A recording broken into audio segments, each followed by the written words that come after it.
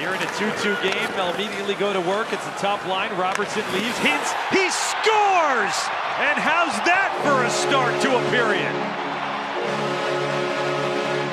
Roope Hintz 30 seconds into the middle frame, gives Dallas the lead once again.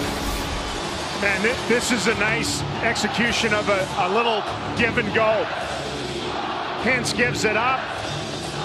They get it back again. It's the left shot on the right wing side. So where his body is, it looked like Ersson was playing his body. Where the puck is, he had a gorgeous look at the far side and ripped it home.